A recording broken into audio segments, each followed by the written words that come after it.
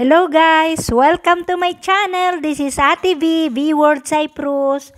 Meron na naman ako ipapakita sa inyong bago guys. Sana, sana nga bago sa inyong paningin to. May ginawa ako guys na elbow macaroni. Inano ko siya guys. Ah, binol ko muna siya. Niluto ko muna siya sa tubig. Yung normal natin luto sa macaroni. Tapos guys, binilad ko siya sa araw ng one week. Guys, kita niyo tong hawak ko? Ayan, tingnan niyo guys.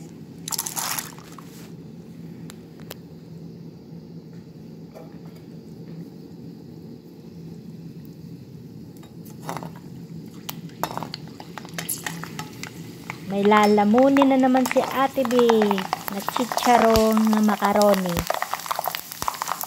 Ayan o. Oh.